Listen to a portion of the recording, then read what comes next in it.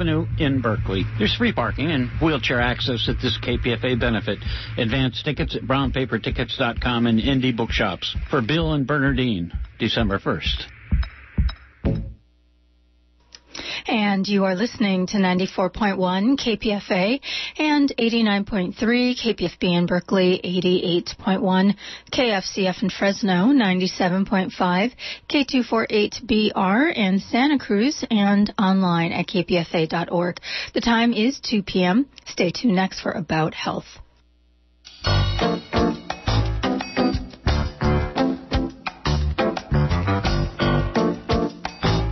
Good health, and welcome to today's edition of About Health. I'm your host, Dr. Michael Nor. Glad to be back with you today. Uh, certainly the day before, a very important day, and so uh, we hope that um, you're well, and we hope that you certainly will take the time to get out and vote, no matter what your um, your particular political philosophy is. Uh, and so uh, we're glad to be here again uh, with you. Uh, today we're going to talk a little bit about technology and, and health. Uh, the healthcare system is changing. And then with what time we have left after that discussion, we, we'll spend some time talking about uh, those initiatives that Mr. Will Courtney was very, very good a couple of weeks ago at examining in detail, but I thought we might go over them again, let you have a say about what you think about these initiatives uh, and have a chance to discuss them uh, with us. But uh, let's start first uh, with our discussion of information, uh, technology, and health information. let me just set the stage for our special guest um, that will be talking about it in some detail. you know, right now, if you look at, or if you've looked at previously, um, how health is delivered. Uh, you're going to see a, almost a sea change, uh, a kind of a one constant and generational change within a very a few years of how healthcare is delivered.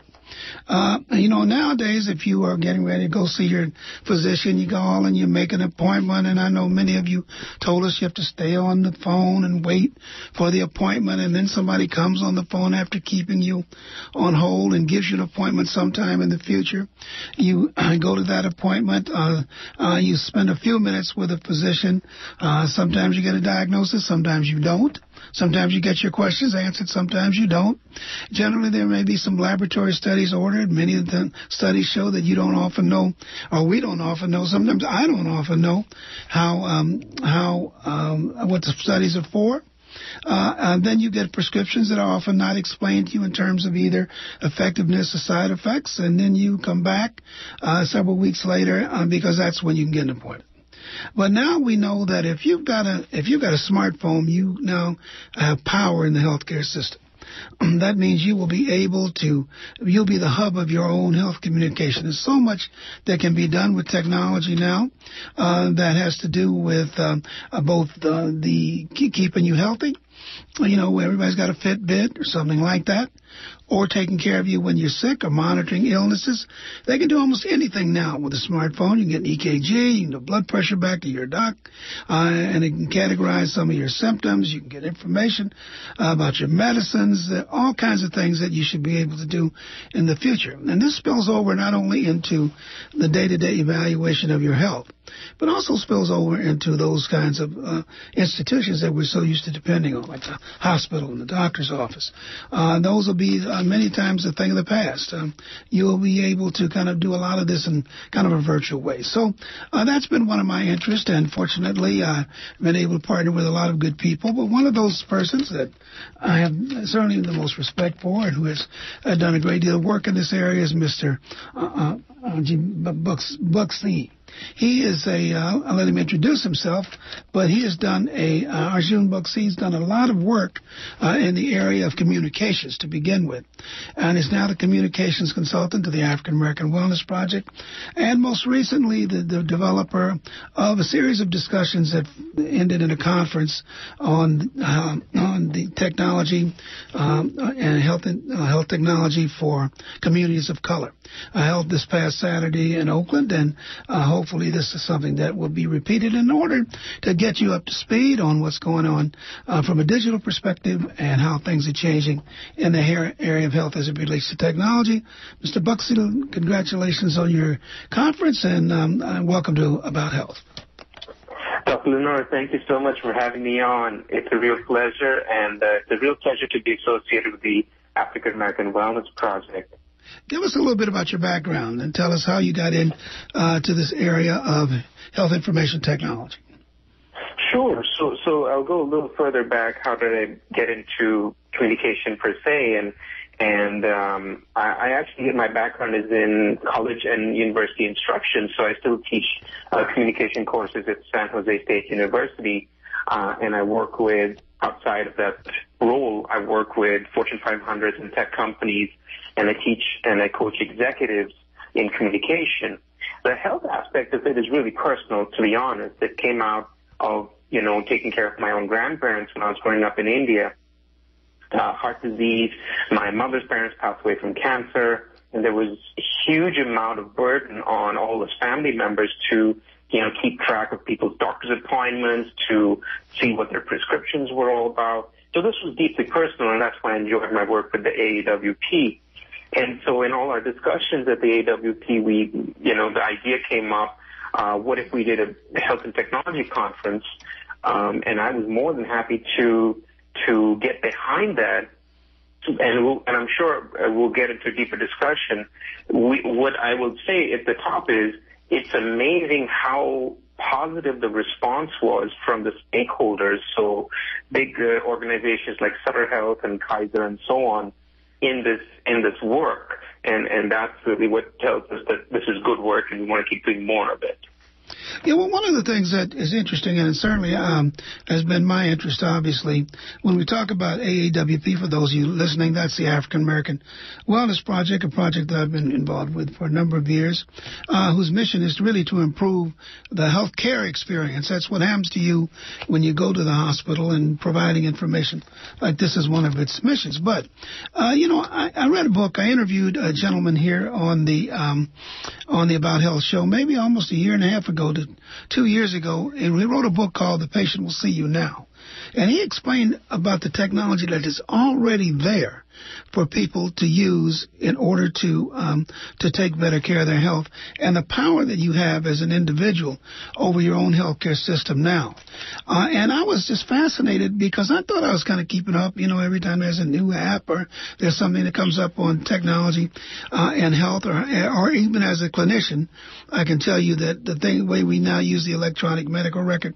So I was kind of familiar with it, but I didn't realize how much it passed me by. Uh, and as always, I'm, I'm concerned that when we don't when we don't take that kind of information and provide it to the general public in a way that they can understand it, uh, it goes along far too uh, uh, too rapidly uh, for most of us to catch up. And so that's one of the reasons that I was interested in, uh, in you know, in in developing uh, information about it more and and talking to people, and then in trying to get information that I'd gathered out to the general public. and so that's kind of the the reason why I think we, the two of us, kind of got together with a shared um, uh, interest, a shared mission, and a shared um, um, objective to get information out to people now, so they can kind of get on board with this, look at it, analyze it, criticize it, help to develop it.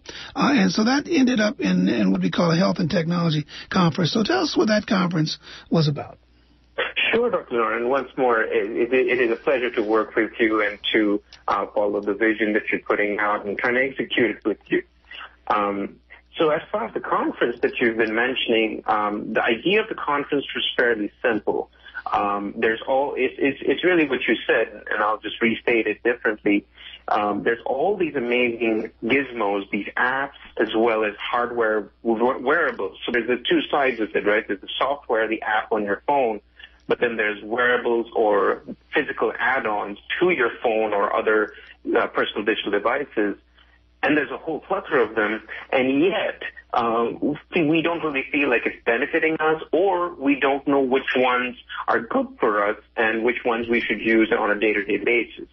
And finally, the piece of the puzzle, of course, that's missing is some of the times these technologies are made and not broken, breaking through the noise of uh, way, just way too much um, options way too many options to be uh, to be actually for someone to curate and figure out which one should be used by myself personally as a healthcare consumer. So that's where we went out and we brought together some, some partners from, and some great panelists from the healthcare field, uh, both as practitioners as well as entrepreneurs, or even as people who just do healthcare community work. And we tried to build, as I put it on the, at the event, the sort of the Venn diagram between tech, community, and health and find that center right in the middle. And that was the idea. And we also had a keynote speaker from Kaiser, her name, Mina, Mina Wilson, who did a fantastic job of, of outlining the problems in navigating technical healthcare. Uh, but also through the panelist contributions, we looked at the other side of it, which was, okay, what does it take to actually make health technology and there are enough people making it with the consumer in mind? So those are some of the big strokes that we tried to cover. And by the end of it, I think people got some really cool takeaways, uh, which I'd be happy to repeat in, in, during our discussion today. Uh, so, what did you learn? I mean, let's start basically by looking at it from the perspective that I think the conference attempted to look at it from, was to identify some problems, uh, craft, craft, some solutions, uh, and develop some options for consumers who are interested in kind of evolving along with the, this technology. What did you learn? Absolutely. Well, as a layperson, because I'm not a health expert, but I love systems and I love organizations, I clearly see the problem being that of noise. Noise meaning there's just too much information out there and we need a way to sift through it better as lay people, people who don't have that kind of time and don't have that kind of, you know, expertise over time, you know, groups like the AAWP African American Wellness Project and uh, folks in the uh, health field like Sutter and American Heart Association, we can do these kinds of partnerships and, and educate people and give them a vocabulary and maybe take them to resources. Uh, I can throw a couple out right away. Um, some of our panelists talked about uh, uh, Onada Health or Omada Health, I think it was, and uh, they also talked about uh, following their own Facebooks and their own um, uh, Twitter feeds uh, and I can throw a few names out, including, of course, Heart Association, Diabetes Association, and P2 Health. Uh, they, they follow and they keep posting information and resources for people to learn a lot. But ultimately, uh, what is is crucial is for people to get involved and to actually take a more, you know, agency approach to it and not just be a passive consumer. Yeah, yeah, let me stop there and ask this question. You know, for instance, I get something from several clinic, Cleveland Clinic, Mayo Clinic, and they're tweeting 20, 10 or 12 things a day. You know what I mean? And you're right. So the noise that we, not only is the noise getting louder and makes it more difficult for you to kind of separate out the things that are relevant to you, but also that uh, many of these, uh, many of these things are not uh, you know, in, in any one uh, format. I mean, there's not there's not one clear way in which the individual, unless he follows a certain Twitter feed mm-hmm. or follows a certain uh, information source, to really uh, uh, break through the noise. Did, did anything come out about uh, how that might be better handled by those people who are interested in their own health? That's a great question. Uh, I think what it came to, Dr. LeNoir, was uh, there isn't necessarily at this moment a one-stop shop. It doesn't really exist, and the reason is because everybody's needs are different. So if folks are more concerned about, you know, the healthcare system, there's one place to go. But if they're more concerned about particular ailments, say for instance heart disease or diabetes, then they go a different place. I think um, away from the conference, uh, I was also speaking individually off stage and off camera uh, some folks were suggesting that what people are trying to do is make the healthcare insurance companies the source for this. And I'm not necessarily, not necessarily sure that works, but it's definitely something they're trying to do, uh, whether it's Blue Cross, Blue Shield, Anthem, and, and, the, and the others. They send all these mailers, both digital and, and hard copy, to you in the mail, uh, trying to educate you about your health. I'm not sure that, that they're the best source, but they're trying to be more of a conduit for a lot of people. Our special guest, Mr. Arjun Buxi, who is, he is a communication consultant. We're talking about a conference that we had on health information uh, and technology, trying to um, trying to help people to kind of jump the broom on on this new uh, way in which we start looking at at healthcare. If you want to join us, eight four eight four four two five is our number, and the five one zero area code one eight hundred nine five eight nine zero zero eight. Um, and uh, we'll be here for the next hour. Your questions are always what makes our program better. So if you've got a contribution to make, or if you have a question to ask about uh, anything that you've heard, 848-4425 in the 510 area code, 1-800-958-9008. Uh, one of the other things that, that always intrigues me, and I, and, and I have to admit, though I have every kind of smartphone and dot echo and everything that comes out from a technology perspective, um, it, it always it seems to me a challenge when we start talking about this whole new technology issue. One uh, is is it going to be less personal? Uh, and make people more uncomfortable. That, that they are in charge of their own health system, uh, and that the paternalistic approach that we as physicians have had over a long haul is now no longer um, particularly the model that most people are going to use. And the second is trusted sources, trusted sources, trusted sources. How do you know when you start gathering all these devices and all the software um, uh, whether or not you're going to um, whether or not you're in a place where you can get meaningful information. Let me give you an example. I have a, a family practitioner that I just absolutely like. I mean, he's just been a great guide for me for almost 25 years, and uh, and I always appreciated his perspective on issues around my health and issues around wellness. Well, now he and I are all locked into this electronic medical record. Now, I'm an advocate of the electronic medical record because before that, nobody could find your chart, your lab reports. You couldn't get your answers back, and then they may still be the case. But he spends most of his time in the visit with me now trying to type into this record. So that yeah. there's no longer he's no longer listening. I mean, I'm a physician, obviously, uh, and I can tell you some stories about the healthcare system, but he's no longer listening to me because he can't. He has a certain mm-hmm. defined period of time. He's typing into this medical record, and I kind of miss those discussions of my health in kind of a general context of his experience. Um, and so, uh, first, a about um, about that the system changing to be less personal, more impersonal, uh, and secondly, how people, in, in spite of all the things that are out there, find trusted sources. Mm-hmm. Absolutely, uh, Dr. Great questions, and I'll take them one by one. So, uh, with the impersonal one, uh, I can actually give you uh, my own personal example of how it's changed, and um, I'm sort of, you know, weighing the pros and cons. So, as you can imagine, sometimes you feel sick and and you don't have the opportunity cause, uh, to go to the doctor's clinic because uh, it's closed. It's past five o'clock or six o'clock.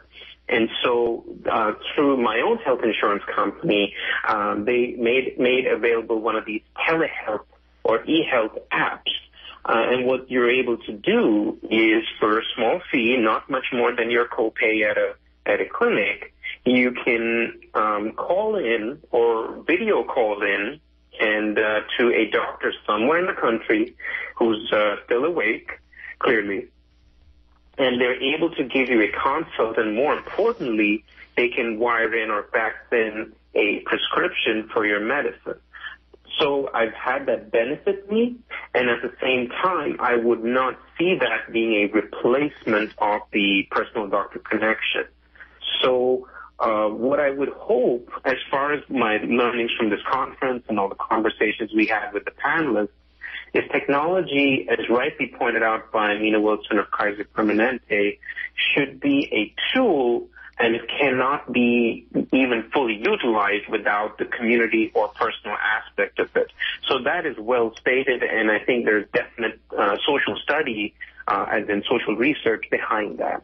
Yeah, I think that that you know you you make you do make a good point. But and here's the here's the real here's something that and, and maybe our audience could weigh in on this. Uh, eight four eight four four two five one eight hundred eight four eight. I always do this too fast. Eight four eight four four two five one eight hundred nine five eight nine zero zero eight. We're talking technology and health in a very general way. It's a new field. It's a new change, but it's a very important dynamic shift in the way in which healthcare is delivered, and we want you to uh, participate uh, with us. Uh, you know, we talk to, I, I have seen some studies uh, of physicians. For instance, I don't write prescriptions for patients that I don't see. You know, mm-hmm. I, I know, and, and, and you know, when you think about 99% of the time, uh, I wouldn't have to see them. I would just have to hear them in order to prescribe what I would think would be the appropriate medication.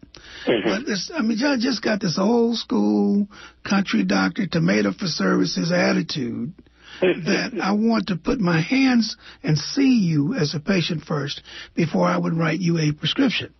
Yet, at the same time, I recognize that I don't need that face-to-face interaction to, in most cases, to appropriately manage your problem what that would do, it would, would save you a doctor visit, save you a co-payment, save you the time for coming to my office, uh, and save you a, a, whole variety of different things. And I believe in most instances, and most physicians believe, the outcomes would be the same. But, mm-hmm. but my question is, and would, would here's the question: Would Hippocrates be upset? You know what I mean? That's that's the kind of thing I'm thinking because I was taught that that interaction is so critical in the diagnosis and the management. It might not be. Well, you know that's a really good question, uh, Dr. Norton, and, and I think as with most technological changes, and I'll just make some analogies here. Um, I mean, when when automobiles came along, they didn't make bicycles disappear, if you know what I mean. So when uh, Silicon Valley comes up with this newfangled idea to change this or change that, uh, what it does it is it changes how a lot of the people do certain things. So I'll repeat that. Innovation changes how a lot of people do certain things. So what I mean is that there is no wholesale obsolescence of the old ways of doing things. Rather, certain things are done in a wholly different way by some segments of the population. And so as a result, you have what is called a splintering of behaviors rather than a wholesale, wholesale flip from A to B. So instance, for instance, I mean, if, uh, to, to segue into your second question, which was trusted sources, uh, I would see them sort of blending in the sense that um, you would go to some sources for general health that you would trust and that would have consistent, usable information. But I could see uh, people going to a different source for wellness. Wellness being so exercise, nutrition, something more general. You don't have to be sick uh, for you to look that information up. And then specific information would be a third different kind of source. So let's say like in my household, uh, my father's diabetic. So you'd have to go to a particular place or a particular website or read a particular magazine to keep up with the diabetes issue. So that's what I'm saying, that I think information, unfortunately, just because of the different purposes of it, the general health, the wellness, and then the specific ailments, be it acute or chronic, you're just going to have a splintering of sources. And based on your individual family situation, you will um, probably focus on three to five different sources that work for you. Uh, you know, that, that's that's uh, probably uh, one of the, the, the better ideas that I've heard about this in terms of trying to uh, organize information that's out there. Because I'm telling you, I mean, as a, just in my own special, unique specialty, it's pretty clear to me that um, many of these sources are just opinions uh, rather than scientific fact. But mm-hmm. I would have to say that uh, Western medicine, in many instances, depends a, a lot of, a lot, a lot on that. how how rapidly, well, I, I see that the system, from my perspective, is changing so rapidly. How important is it that people start to understand what, what's about to happen? One of the interesting things that I've heard yes. from other people, and I think that this uh, this presidential race didn't change much of that, is many people are worried about uh, their private information being uh, tapped into, hacked, and, and spread around. Many people are reluctant to share their symptoms and their their their um, uh, text messaging uh, options with uh, the healthcare system. We have a system that can capture email, but you'd be amazed at how many people, how many people who are patients don't want to give you their emails and, mm-hmm. and things like that. And I think that um, over time, I think just the options uh, for keeping your your um, present healthcare structure or or for um, or for uh, you know keeping your health information completely uh, between you and uh, a clinician, a provider, in an, a, totally uh, intimate and private space may well be over. Um, yeah, Dr. Noor, you you hit the nail on the head. This is a growing problem, and um, in fact, believe it or not, it goes even beyond what you're saying about emails and you know what ailments you may or may not have. For instance, those of us uh, with smartphone apps, uh, some of your smartphones, I'm not sure if I'm allowed to mention brands on your no, show. I, would, I, I wouldn't mention any brand. Here. Okay. Well, I'll, I'll avoid mentioning um, um, uh, trademarks and copyrights and so on. But generally speaking, many of your smartphones now come pre-equipped or maybe you downloaded an app, uh, whether pre-installed or, or installed by your choice. It's a very, very good thing to look up beforehand what exactly, uh, what data is is captured in that. It goes beyond your email or your uh, name, um, your location, your geographic location, um, biometrics in some cases, so your fingerprint, for instance. Um, some apps you may think that they're just, you know, counting your steps, how many steps a day you're walking. I believe eight to ten, ten thousand steps is a, is a good number, they say. Um, but you know, in in the process of doing this kind of uh, collation, there's a great, you know, argument for it. Okay, let's say an emergency happens. Uh, you're in an ambulance. You don't know anybody. Um, and they used to have bracelets, right? And they, they, the TDOT would have people's information. Oh, I'm allergic to such, such and such prescription. And so um, now they're trying to move that into your phone. Uh, of course, as a result of that, then um, I'm not sure if everyone is fully and consciously aware that they're giving consent for this information to be transferred from point A to point B. So what we're seeing here, Dr. LeNoir, is a is a sort of battle between seamlessness and convenience on the one hand, and uh, privacy um, and therefore inconvenience on the other. So I, I really don't know. It's a it's a personal choice, but the, the the real important thing is do people know when they sign up for certain apps or they purchase a certain digital device exactly what information is being given away as a result of using it. All right. 848-4425 is our number in the 510 area code. 1-800-958-9008. We have several, I've got a lot of questions. We have several uh, phone calls. Let's go to Marilyn and Aptos. You're on About Health. Oh, yes. Um, talk about inconvenience. Um, what's not mentioned here is that this is a toxic technology. Microwave radiation is what wireless technology is. And the World Health Organization, as of May 2011, categorizes this radiation as a possible carcinogen in the same category as lead, DDT, benzene. And so when you're using this technology, not only is there not any privacy, but people are being radiated and damaged. And the evidence of harm goes back to 1932 caused by microwave radiation. And I want to give a few sources. I'm someone who feels quite sick from this. You can also take a detection meter uh, measuring the radiation around these smartphones, uh, so-called smart meters, etc and you'll see it go way up. I've also seen, uh, I think it's called dark field microscopy however you say that. Yeah, that's pretty good. Pictures of blood cell abnormalities. So just, and I don't even like to go into doctors' offices or offices where they have this Wi-Fi because it causes functional impairment. Let me just give you some references and then I'd like to hear comments because this is the most important thing about health is we're not being damaged by toxics. Uh, bioinitiative.org, stopsmartmeters.org, Magda Havas, Barrie Trower, B-A-R-R-I-E, whose expertise is microwave radiation weaponry, and he says these are the same frequencies and power densities they used in the military and the, when he was in the British Secret Service, as is used in Wi-Fi. So I'm I'm just appalled. I want to go back to the personal interaction with the doctor and the records that are just between the doctor and the patient, not out there for anyone to do whatever they want with it.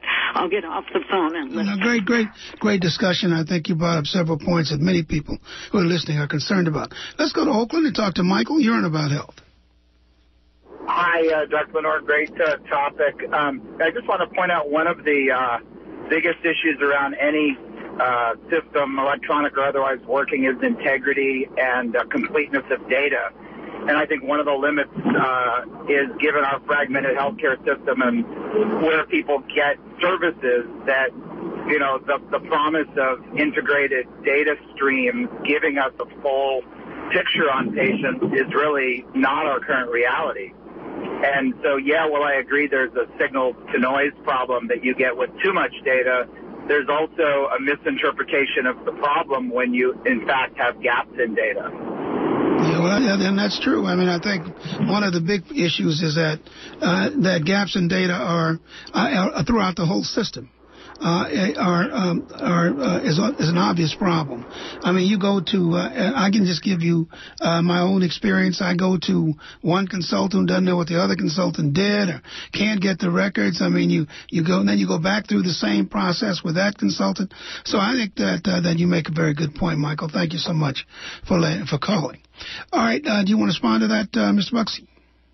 Sure. Uh, I'll try and see what I can um, respond to. As far as the data picture, this is true, and and and the, and the reason for this partly is because uh, data is not standardized in a lot of places, and so every company sort of tries to reinvent the wheel. And when you have that kind of situation, absolutely you will have the equivalent of, let's say, refracting mirrors, where the picture is not as far away from you as it's supposed to be or as close as you think it is. Um, and yes, I, I, would agree with the caller uh, before them that uh, as far as the hardware of our technology is concerned, one should take a lot of um, clearly aware and conscious uh, decisions. Most of your hardware, by law, if you look at the manuals that come in the box, uh, they are very clear about how to use it and what dangers may or may not exist. So um, there, there are definite um, uh, fixes and workarounds for most of the gadgets that we use every day. 848-4425, 1-800-958-9008. Um, Our guest, Mr. Arjun Buxi, who has uh, been involved in health information technology. Uh, a lot of good information flowing uh, from uh, the conference and from his experience. So if you want to join us, you've got a question, a contribution, uh, please don't hesitate to call 848 4425 1 800 958 9008. Let's go to Ken in Walnut Creek. You're on about health. Yes. Hello? Hi. Hi, uh, Dr. LeNoir. This is a great topic, and I appreciate your guest today uh, mentioning that uh, this new technology doesn't really displace our old ones. It's just, a, I guess, an adjunct to what we already have. And uh, I have an example of that. Um, about 15 years ago, I was watching a TV program put on by Belva Davis on commu- uh, uh, current affairs, and she had a, a uh, a format where she'd have a guest on for the half hour. And at the end, they'd pick up a topic, and one of them was the uh, CalPERS investment in the tobacco industry. And she mentioned that the tobacco industry and tobacco products are very hazardous to uh, the black community in particular. and uh, the uh, guest who happened to be a, a white person. Uh, mentioned that she didn't see eye to eye on that, that, you know, that investments overrule uh, any of her concerns. So I thought that was rather callous, so I ran for CalPERS board about 15 years ago mm-hmm. on the platform of, of divesting our $800 million investment in the tobacco industry. And that's just because of that TV program. By the way, I came in last place. I got 4,000 votes. That's good. That's, and, that's yeah, 4, and, 4,000 talented people. Yeah, and I got calls from around the state congratulating me on uh, standing up for something. And about three months after the election, uh, the the CalPERS board decided to divest the entire investment in the tobacco industry. We're totally out of it. So, uh, and of course, it's been lingering on for a while. The uh, Secretary of State was instrumental in getting out. Uh, he was on the board, and a few others were concerned. But uh, I felt my candidacy helped uh, promote that uh, divestment. But anyway, uh, the uh, the concerns that uh, that I expressed in that were were echoed uh, at a higher level, and that made me feel really good. So that's what's so important about programs like yours. You you help filter out all the noise that's on the internet. You're doing a great service. Your guest has pointed out uh, the, the the reasonable uh, needs for our old technology, TV, radio. We still need those communication paths to, to screen through some of the stuff we're seeing on the internet, which is just a, a, a really large amount of stuff. So I'm hoping the cream of the concerns float to the radio. Uh, uh programs and the TV current affairs programs. Mm-hmm. And, and my last thought is that uh, you might want to be concerned again. CalPERS is talking about reinvesting in the tobacco industry. I got their newsletter recently. I'm retired, and uh, uh, people should probably uh, mail uh, or, or send emails to the CalPERS board saying uh, we don't want that to occur. So anyway, I want to pre- I want to appreciate the, the topic and your show. So. Well, thank, thank you so much. One of one of the things that has confused me, and maybe um, you could you can give us some light on that. You know, we assume um, that because of this, uh, how sophisticated and interesting the internet is, is that that's where most people get their health information. Uh, and I'm just not certain about that. Now, we we have at the present time probably the only health show on the air in the Bay Area that I'm aware of, or we have a couple on KPFA, where you can call in and talk to an expert and express your opinions on health. Uh, when we have about 300 political shows and 500 cooking shows and 400, I could just name, go down the list. Um, uh, there are health shows on the air where they focus on health, but don't talk to people or let people talk to experts experts in health. And I'm still convinced an awful lot of information flows from traditional media uh, uh, as as much as um, as it does from uh, the internet. And people are in their cars and they're listening all day long. So I, I just wonder what you think about that. Where do you think most people get their health information from? That's a personal request in terms of uh, getting an answer. And um, and do you think the traditional media uh, plays a larger role than most people think? Arjun? Uh, I think your caller is right, and, and you have a point that uh, radio is still here, very much so, and the only switch, if any, is that uh, we're having the radio via the internet or podcasts, uh, so still audio-based, but very intimate, very personal, and often independent, uh, not invested in by larger companies who might try and try and you know have editorial control. So your callers and your listeners are correct that one should be really careful, um, you know, when evaluating a source, be it uh, audio, video, or online, who is behind this? Who has invested money in this particular enterprise? And do they have editorial control upon the voice of the writers or speakers? So some, um, as far as the reach uh, and the breakup, I would say, Dr. LeNoir, that it, it is generational. So folks that are identifying as millennials, so that would be people 35 and under, would largely get their information online. Uh, however, folks that uh, identify as baby boomers will often enjoy their radio and be avid and loyal listeners to them, but also to audiobooks and to podcasts, depending on socioeconomic background. And so the last thought I'll throw in on on um, source credibility is if you do go online and you seek health information, please do not um, take your Facebook friends' uh, suggestions at face value. Please evaluate the source of your own mind using your own common sense and critical thinking. Uh, some very useful ways to call out sources that are not helpful. If it's not a well-recognized news company, um, then you should limit yourself to uh, a .gov or .gov government website or a .edu academic website where a researcher may have posted information.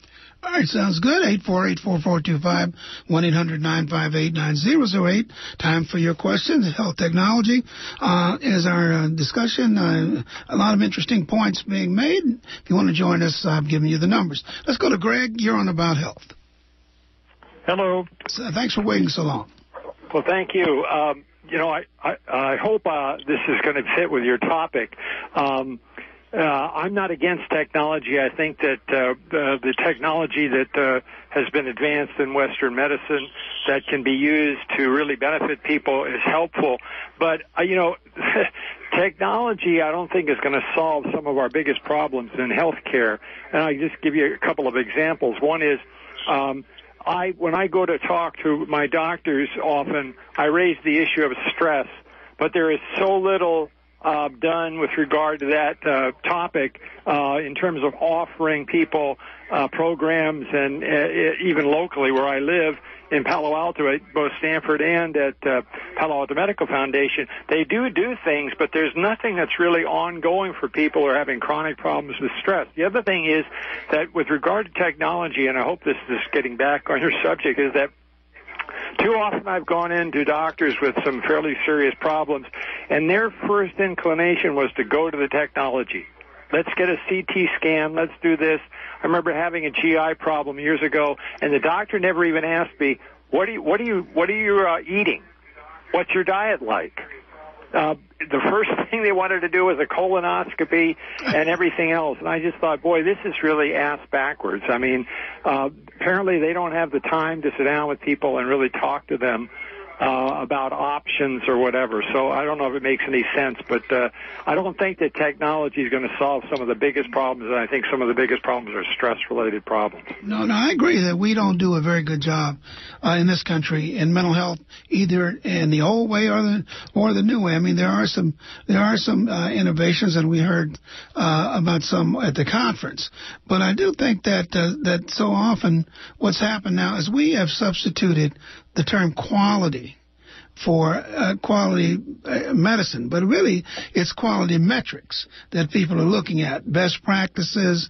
Um, and the the, the uh, Medicare program is about now to uh, to look at ways in which to uh, to focus doctors on quality metrics. Uh, and I'm not sure the two are the same. and I think that one of the advantages of having additional sources of of information is that you can check these quality metrics as opposed to what quality outcomes are. I think there's a certain satisfaction in an interaction between a physician or a provider uh, and a patient. I mean, I think it gives you a better sense of how the overall uh, system is going, especially in the area of stress. I think you really have to kind of ferret that out sometimes uh, as uh, a major factor when other things seem more obvious um, as uh, physical signs and symptoms. Uh, so I think that that is particularly one of those areas where a personal interaction would be helpful. But I think many people don't realize that we are confined in many instances by the amount of time that we spend with people. And that's especially true in systems because systems measure productivity. Uh, and not, you know, they, they, they give you quality as your, uh, as your as your structure, but they measure productivity in your reimbursements within systems. So I think you, that you make a good point that there are certain things left out uh, of the, no matter how you devise an alternative system, left out uh, in in terms of being able to understand. I think mental health and mental health issues is one area where there's going to be a real challenge trying to make the te- technology uh, fit the formula. What do you think, uh, Mr. Buxi? I, I, uh, I totally agree from where you're coming on this, Dr. Bernard, and the reason is that um, the way systems, as you're pointing out, the way they're built in our health industry is they're built top down. uh, where very, very little discretion over the years is being left in the hands of the individual physician or care provider, and more and more of the authority and control is with people that are, as you rightly point out, at the other end of the reimbursement uh, point.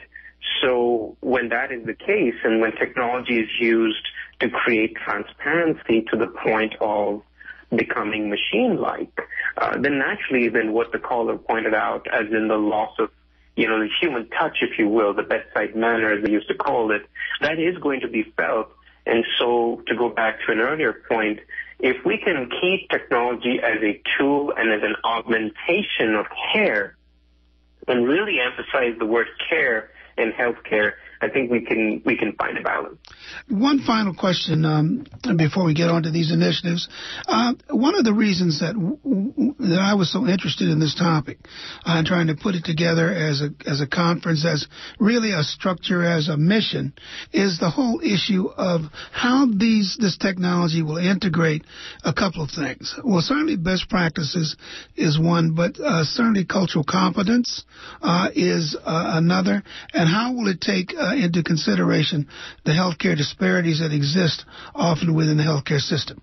Uh, because too often when you have sea changes, I guess there's something I remember from my sociology, very little, very little of course, is something called a cultural lag where there are major changes in the culture, but it, it doesn't get to the population uh, until after a certain time. And it really doesn't get to populations of, of color. It doesn't get to poor populations, underserved populations, sometimes at all. And I think these changes are happening so fast. Do you have any ideas about how we can integrate and incorporate those populations into these changes sufficiently fast for them to take advantage of them as they go forward? Excellent point, Dr. LeNoir. And, the reason that the, this disbalance is happening in the first place, let's let's look at that. Why is it happening? It's happening because we have self-appointed custodians of our, you know, culture, right? And when I say our culture, I don't just mean how people talk and behave, but what is valued in our culture. So a certain group of people, typically people with, you know, socioeconomic power, uh, come together and decide that this is quote unquote the right way to do things. And so then that becomes the norm. Now, the, the, the key for us, those of us that are not in that special circle of people, regardless of what industry it is, is, the, is for us to find a place at the table as a representative of these under, underserved communities. So if we're looking at health, okay, let's look at which are the biggest, most influential health companies and health agencies that make all the big decisions. And maybe just health innovators, people who don't have a name, but behind closed doors, their, their voice carries weight. So for us to be aware as, you know, change agents, people who are aware but still outside of the inner circle, I think we're the glue. I think we're the people that can, you know, find a place at the table, ensure that we're a voice for the voiceless, and then force people through, you know, incentivization, through extrinsic motivation, like this, just helps you too, and bring the inner circle people out where they're forced to, and maybe even motivated to include everybody in the change forward. All right. Well, I think we got time for one more phone call, and that phone call is coming in from Ellen. Hi. Good day. How are you, sir? How are you? Good. Uh, I wanted to talk about Prop 61 for a minute, if I might. Okay, let me uh, um, let me say goodbye to Mr. Buxi, and then we'll get uh, we're going to get uh, spend a few minutes on the propositions. Okay. So just hang on, uh, Arjun. Thank you so much for taking the time. I think you your your conversations was concise, identified the issues and some potential solutions. I hope that those of you listening recognize that this real change is coming, uh, and that you start to kind of understand uh, that you need to understand it. So thank you so much for joining us, and we'll talk again later. Thank you so much for having Dr. LeNoir. Have a wonderful rest of your day. All right. Well, uh, we're gonna, I've been getting a lot of emails and phone calls about various propositions. I haven't, uh, I'm not taking a stand on these propositions here, but there are several that are related to health.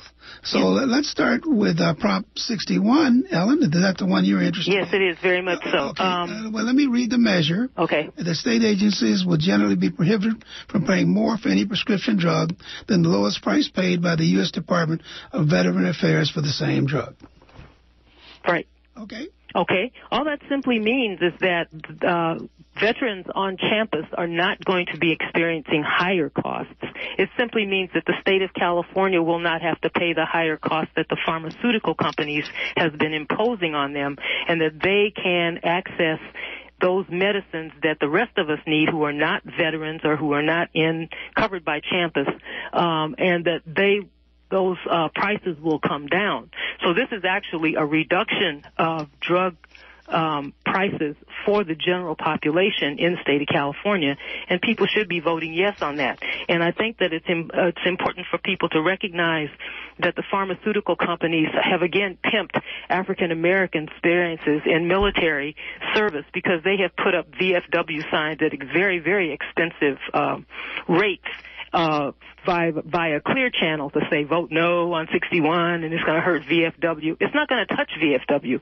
VFW is the standard of low priced drugs and people have been dying to get low priced drugs in the United States and California is taking the lead on this. So I think that people need to understand that when we say yes on 61, we really mean that we need to be as frugal and as cost effective as the Veterans Administration has been and in its and successfully negotiating uh, lower prices for effective pharmaceuticals from the companies. Uh, a couple couple of questions for you. Sure. Uh, what percentage of Californians will this impact? Probably about 50 to 60 percent of Californians, especially those on Medicare and who are struggling with Medicare D uh, options, uh, which is, and right now the I think the uh, enrollment program is still kind of open. And so those people who have these co-pays, sometimes you have a $5 copay, sometimes a $20 copay, depending on which uh, drug program you have. Where does the number 12% come from? Um, because it said that it affects, it impacts 12% of Californians, I believe. Yeah, the um, 12% would probably, I'm not sure because I haven't looked that part up, but um, I have been uh, available, aware of a lot of the um, covered California drug programs that are not the entire um, they're not offering the entire drug programs that Medicare has access to. And AARP similarly does not have access to some of the same programs. So I don't know if they're generating that 12% as an estimate that they made up or if that is something that is actually factual. All right. Well, thank you so much for taking the time to call. Thank you. All right. I'm going to just kind of read through the propositions because I think there's several that deal with health. Uh, Proposition 52 is an existing change imposed on most private hospitals that is scheduled to end on January 1st, 2018. Under the current law would be extended permanently. Would be that would make it harder for the legislator to make changes. Revenue raised would be used to create state savings, increase payments and hospital services to low-income Californians, and provide grants to public hospitals. Uh, yeah, remember a couple of weeks ago, uh, Mr. Courtney had a, a, fine program on talking about these in detail. So I'm not uh, really attempting to do that. I'm just trying to identify some of those in health that um, that uh, are on the ballot. I may miss a few, but uh, if I do, then I'm sure that uh, the KPF audience will help me with that. Uh, Proposition uh, 55. Uh, that means that income tax increases on high income taxpayers, which are scheduled to end on 2018, would be extended uh, through uh, 2030. It's called the Tax Extension to Fund Education and Healthcare Initiative. It's a constitutional amendment. Uh, Proposition 56, the cigarette tax to fund health care, tobacco use prevention, research, law enforcement, uh, initiative con- constitutional amendment, and statute. Uh, it means that state excise tax on cigarettes would increase by $2 per pack from 87 cents to 287. State excise taxes on other tobacco products would increase by a similar amount. State excise tax also would be applied to electronic cigarettes. Revenue from these higher taxes would be used for many purposes, but primarily to augment spending on health care for low income Californians. Uh, let's go on to the next one that has involves health. Uh, let's see. Um, I, I, don't know. I guess this does involve health. The Adult Films Condom Health Requirements Initiative status. There would be an additional workplace health and safety requirements placed on adult film producers productions in California, and additional ways to endure, enforce these requirements uh, for uh, for condom use. and that's Proposition 60. And Proposition 61 we just uh, discussed.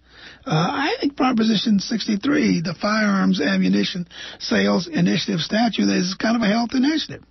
Uh, it's a new court process would be created for the removal of firearms from individuals upon, upon conviction of certain crimes. New requirements related to the selling and purchasing of ammunition would be implemented. And I consider certainly that's a health initiative. The marijuana initiative.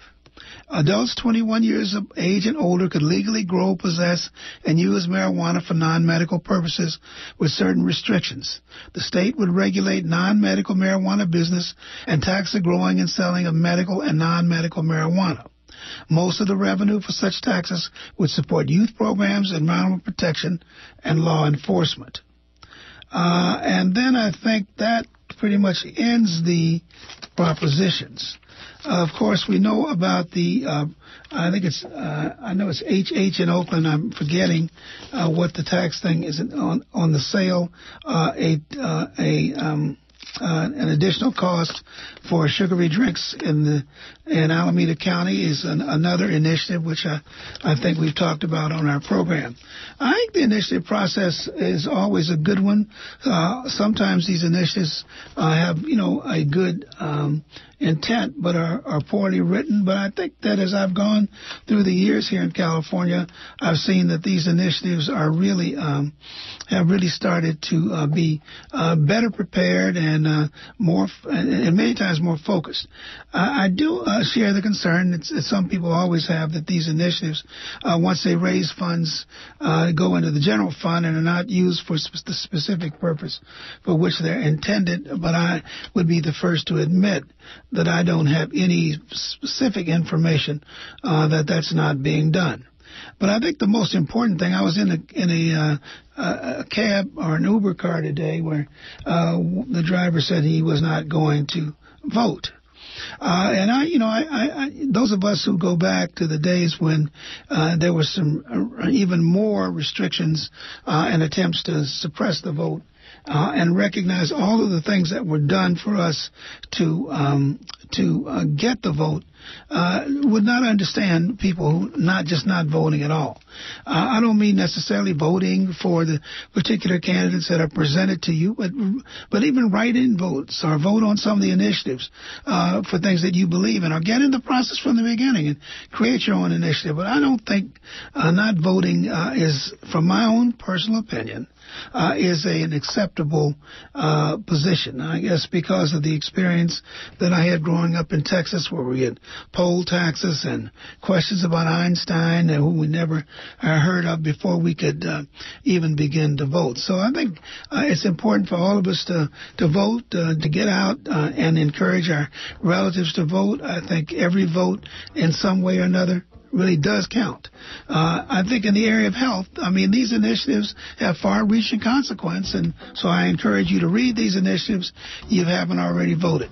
I'd like to thank Mr. Buxi for his participation in our program on health technology. Uh, next week, Nurse Rona. Remember, health is your biggest asset. I'm Dr. Michael Norm. We'll talk again in a couple weeks.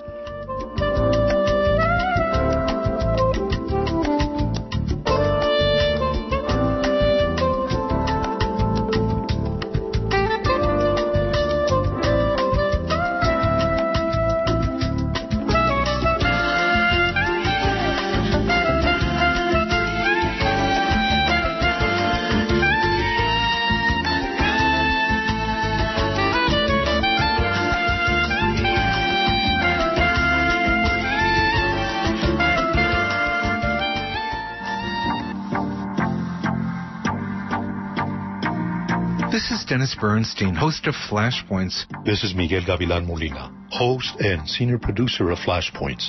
Heard on KPFA every weekday from 5 to 6. Flashpoints is a hard hitting news magazine that monitors the centers of power and reports back to the people. We bring community radio into the community and give voice to the voiceless, from occupied Palestine to the falsely accused on death row. From the brown revolutions in the fields of misery to the front lines of the new labor and civil rights movement. On Flashpoints, black and brown lives really do matter. So join us here on KPFA every weekday at 5 p.m. Thank you.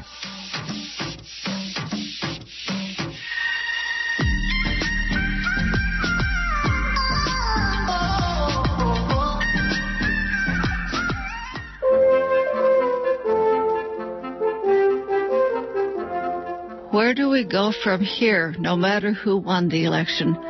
Author and activist Norman Solomon will speak to this question at the Ecumenical Peace Institute's fall gathering, Sunday, November 13 at St. John's Presbyterian Church, 2727 College Avenue, Berkeley. Wheelchair access is at the Garber Street entrance. This benefit dinner for EPI starts with snacks and music at 5:30 p.m. Vegetarian dinner at 6 is followed by the program. Please bring your concerns, your challenges, and your determination. For more information or to let us know you are coming, please call 510-990-0374 or visit epicalc.org. Thank you.